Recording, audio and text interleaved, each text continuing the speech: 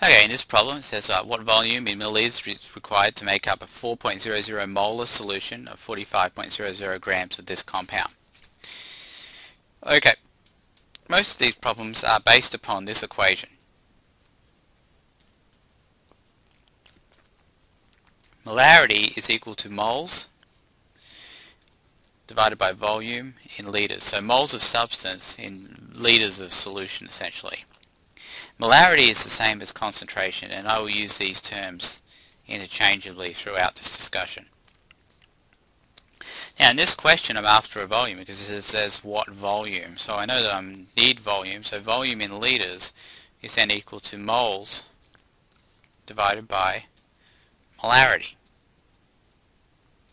Now that's just a simple algebraic manipulation. Multiply both sides by volume in litres and divide both sides by molarity and that'll give me moles divided by molarity.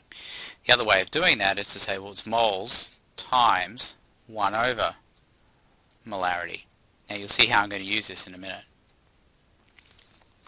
Alright, so we're going to start off with the grams here in the hopes I'm going to get moles. And I think a good tip here is uh, if you can possibly try and get moles first. And I know if I go to grams, uh, from grams I can get moles directly.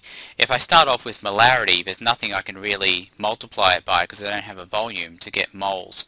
So uh, I'm going to start off with the 45.00 grams. And that's always a good rule of thumb. Go for moles first if you possibly can. So the way I'm going to set this up is I'll have the 45.00 grams. I know grams is going to go on the bottom, so those cancel. I'm after moles, so I'll put that on top. The relationship between these is that 1 mole is equal to the molecular weight, which I'm given as 459.70 grams. Alright, so that's my, that's my first step to get moles. Now my next step, I know that moles are going to have to go on the bottom. And the reason for that is because those are going to have to cancel because I don't want moles in my answer so I know those have to go so I'll put moles on the bottom here to cancel it. Now what I need though is a volume and what I'm going to do is I'm going to put liters here because I know there's a relationship between moles and liters. What is that relationship you might ask? Well it's from here to 4.00 big M. 4.00 big M is the same as saying 4.00 moles per liter. Or another way of saying that is equal to 4.00 moles in 1 litre. Right, so that's another way of writing that. What that means is, is that there's a relationship between moles and litres, and we know there's 4.00 moles of substance dissolved in 1 litre. That's the same as saying for every 1 litre there's 4.00 moles of substance. Well, you might say, well, how do I justify this? Well, going back to here, we know that uh, volume in liters can be gained by taking the moles and multiplying it by 1 over the molarity. That's what we've got here is 1 over molarity. It's the flip of molarity or the inverse of molarity.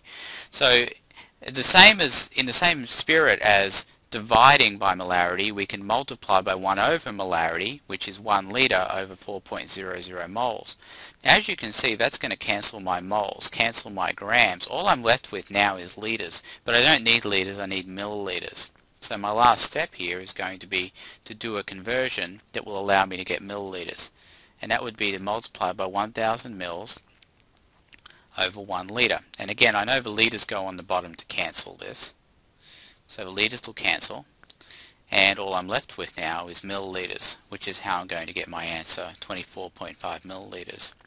The significant figures here are based upon the 4.00 molar, which has three significant figures, so my answer comes out to three significant figures as well.